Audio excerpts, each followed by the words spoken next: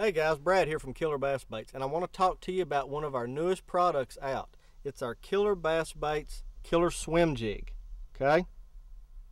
Now, let me show you the actual head without a skirt on it. You'll notice that the head's extremely thin. This is a 3 8 ounce head, that's the size we make it in. And the reason it's so thin up here is we've put some weight on the lower end. So you have more of a balanced jig coming through the water, okay? We did that for the swimming abilities only. Underneath, we've also added a pin to hold your favorite trailer. Slide him right up on the pin, it's going to hold your trailer. But that is our head minus the skirt. Wanted you guys to see and get a good look at this thing and see what it looks like. Now,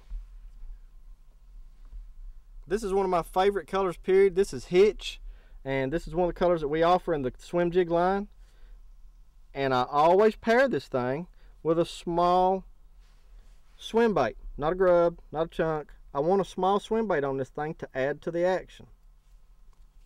It's very easy to put on. We're going to thread this thing up on here. And you will see as I'm threading it up on here when we get to that pin how it goes right into that soft plastic and locks him down. Goes right up over that locks him down pull your skirt down. And that is our killer swim jig right there. Again 3 8 ounce mustad black needlepoint hook as always. That definitely is going to feed the fish